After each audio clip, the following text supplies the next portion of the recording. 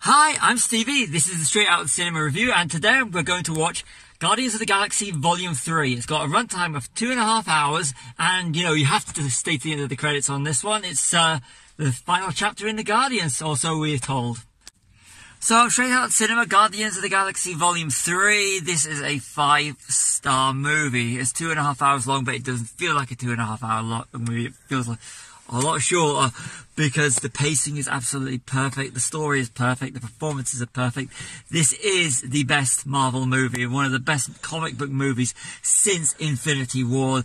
It's got all the if you love Guardians of the Galaxy, Guardians 2, you are going to love this. James Gunn has given us possibly the best Guardians of the Galaxy movie, and it's his last movie with Marvel, and he's gone out with a bang, and this is emotional, it's comedy, it's everything you want.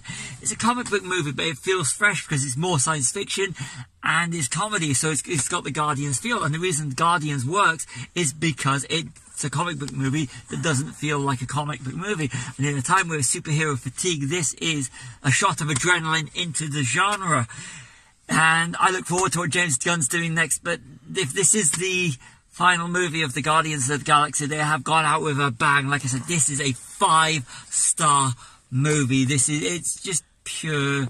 It's brilliant. I really truly loved it, you know, and I'm going to keep spoiler free. Just go to the cinema, find a great screen, and enjoy Guardians of the Galaxy Volume 3. I look forward to seeing it and, uh, for a second viewing. I'm Stevie. I've just out cinema, five star Guardians of the Galaxy. Go see it. Go see it spoiler free. See you all soon.